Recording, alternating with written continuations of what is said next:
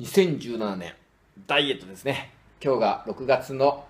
えー、29日の木曜日ですね。今朝の体重が74.2と、えー、安値更新ですね。4.5だったんでちょっと0.3だけ落ちましたね。最近食事を守れてますからですね。今年のテーマっていうのはダイエットは体重を落とすことではなく食事を安定させることであるって感じでやってますからですね。えー、もう35年ぐらいねボディー大会とかやってるんでまあほとんど毎年ダイエットしてるんですけども例年やっぱり野菜スープとか作ってですねたくさん食べてお腹がすく前に食べて野菜を食べてそれでごまかすっていうダイエットだったんですけども今年はちょっと空腹を楽しもうみたいな感じでねちょっと成長した自分になりたいなっていう感じでやってます。食事っていうのは本当薬ですからですね特に炭水化物ですね、えー、糖質は本当薬だと思いますね。取りすぎればえー、害になるし、まあ、取らなかったらやっぱ疲れがたまりますからですね、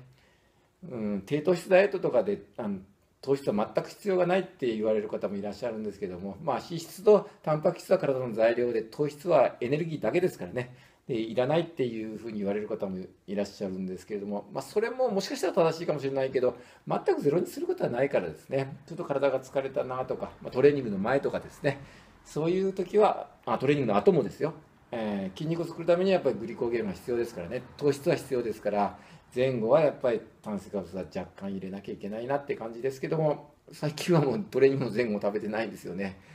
うん、その分やっぱトレーニング強度はやっぱ落ちますよねどうしても、まあ、それはしょうがないかなって感じでもうちょっと落としてみようと思いますね。えー、まあ今年はもう心を落ち着けるダイエットですね。まあダイエットダイエットって大げさにならずにねうだうだ言わずにちょっとこう、えー、お腹が空いたらこうやってドローイングですね息を吐いて吐いて吐いて